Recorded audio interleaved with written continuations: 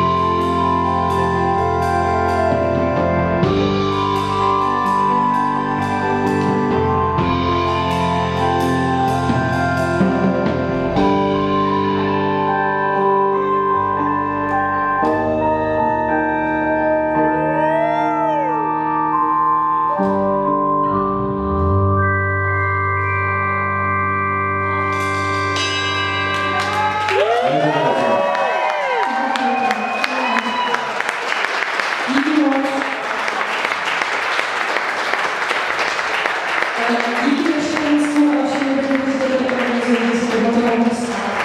Přesně tak. Děkujeme, Petře.